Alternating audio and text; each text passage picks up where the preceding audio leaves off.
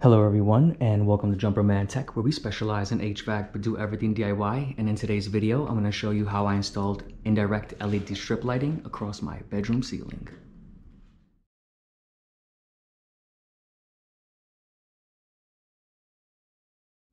Thank you to everyone tuning into Jumperman Tech. Today I'm going to be installing the Govee RGBIC LED strip lights across my bedroom ceiling.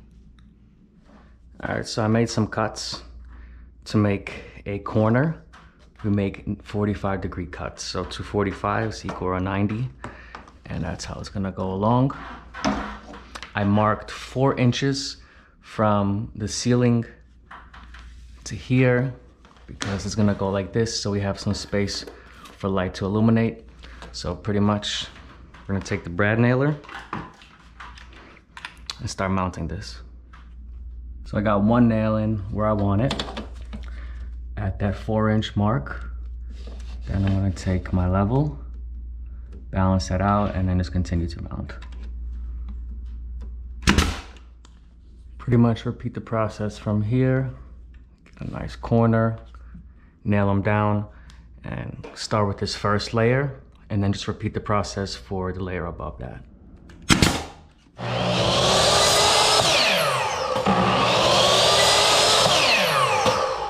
Right, so we got the first layer up. It's going across the room. It's now time to cut the upper portion of our molding. Let's continue.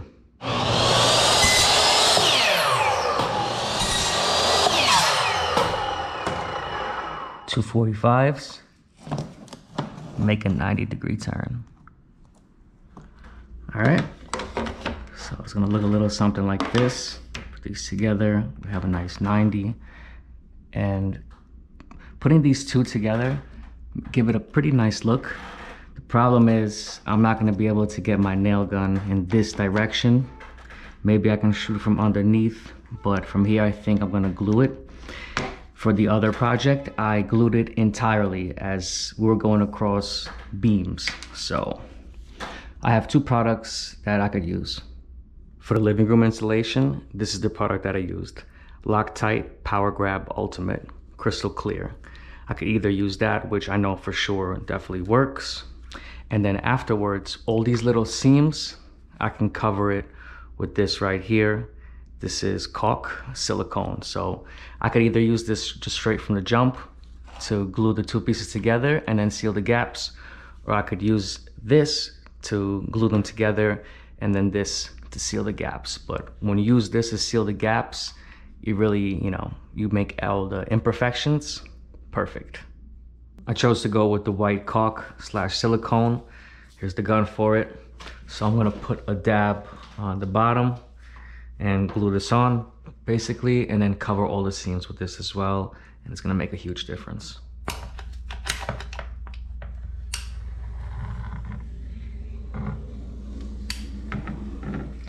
This on. Squeeze that.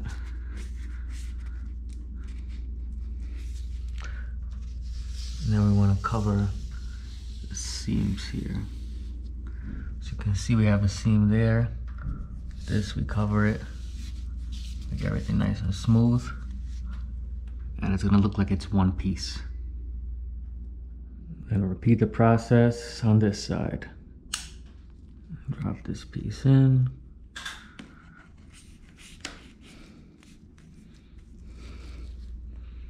Level this up. And then cover the seams.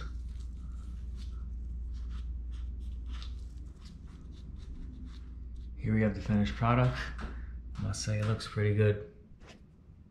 So here we have two rows which interconnect into one here. And this is the plugs that it came with. So the idea is we're gonna have the controller this way and we're gonna run one length this way and the other length going that way. Lights come in a row. If you look at the back, we have a 3M adhesive. So just peel back the lining and stick them on. So we're just gonna have them facing up towards the ceiling. Once you get to the end on one side and you have extra LED lights, It is definitely not recommended that you cut them, but you can. And when you do cut them, cut them alongside those four copper strips. It is not advised to cut these, but I have done it in the past. It is gonna work, but the thing is, you can program each part of the LED a certain color. If a part of the LED that you cut off is not there anymore, you lost that control of that part. So that's pretty much that. You lose a bit of control, either fold it over or cut it. I have it coming right down the middle. One LED strip goes down this way and then the other goes that way. So I have the wire just coming straight down. Just had uh, an adhesive in the back, just peel it back like the lights. Stuck it on the wall. And I had these little clips. I could just hold the wire tight. Made it as neat as possible. Do have this here. And then I just ran the wire right into the outlet. Once you got things in the way, you can't really tell anything. The wire looks pretty good. You can control the lights directly from here, but we're gonna go ahead and download the app. We're gonna download the Govee Home app, and behind your packaging here, you're gonna look for your model number. In this case, it's the H6126. So we're gonna get over here in our app, click the top arrow on the top right, and we're gonna search for that model number. We're gonna go for LED strip and find that model number. These are gonna be under RGBIC lights and here they are. H6126. You're gonna need to enable your Bluetooth. Just discovered this device. Connecting. And we're gonna give this device a name bedroom ceiling and done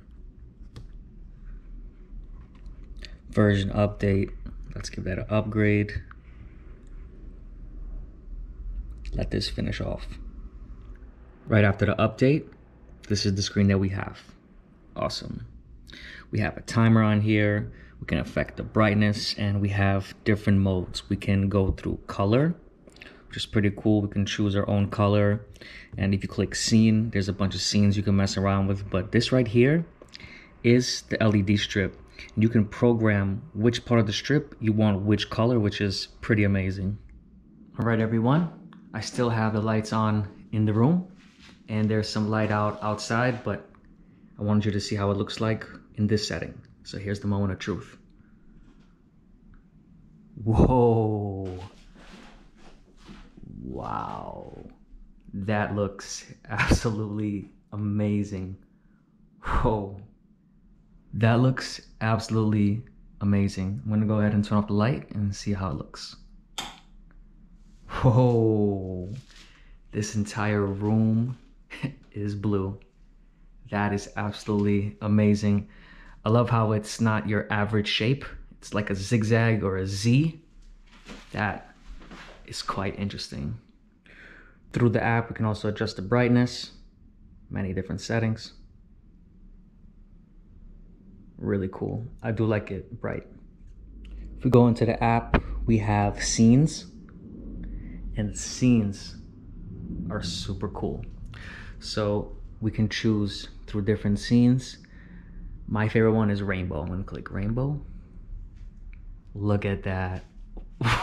wow. That is insane. And you can customize the effects if you want it brighter or a lower light, if you want it faster. There's like really endless possibilities when it comes to this. So I'm just gonna go over a couple of uh, different settings that they have. And you can see how these lights operate. Whoa. Star. What is that? Lightning. Oh my lord, that is insane. Whoa. Universe. Whoa, okay, okay. This is so crazy. Oh man, and look, look how it looks when it's off. Well, you're not gonna see anything here because there's no light, but I love how it's hidden behind that molding. You can also create your own scenes. Then we have a DIY section where you could really customize this LED strip.